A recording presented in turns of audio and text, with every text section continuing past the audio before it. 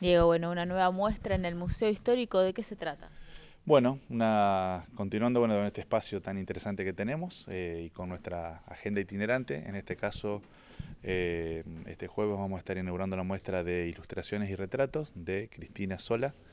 Eh, ya Cristina el año pasado nos acompañó con su taller, bueno, ella y, sus alumnos. Y en esta, en esta oportunidad va a ser una muestra mm, toda de sus, de sus obras. ¿Esta muestra cuándo va a quedar habilitada? Va a quedar habilitada este jueves 11, eh, a partir de las 20 horas, aquí en el Zoom del museo. La verdad que bueno, es, eh, yo siempre, bueno, con Cris tengo una, relación de, unos años. Eh, yo al, conocer de su obra y demás, yo siempre la, o sea, le invité a que venga a mostrar y casi como que nunca se animaba. Ya se animó el año pasado, este año también va a estar acá en el Zoom y también existe la posibilidad que esta obra, junto con sus alumnas, vayan a Agroactiva, la carpa del, stand municipal.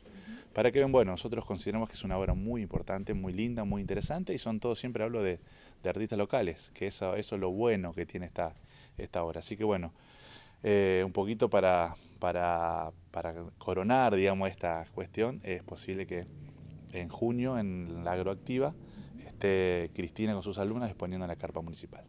Así que no quedaría solamente aquí en el Museo de la Ciudad. No, no, solamente no, que también que conozca que es una muestra donde pasa mucha gente. Bueno, y con, con Cris también hicimos un, digamos, vamos a hacer como una recorrida regional, eh, porque bueno, esta obra eh, se, va, bueno, se inaugura este 11 aquí en este museo. El 17 de mayo se va a estar inaugurando en la Galería de Arte Dante Alighieri del Trébol y para el mes de agosto se va a estar inaugurando en el Museo de las Rosas.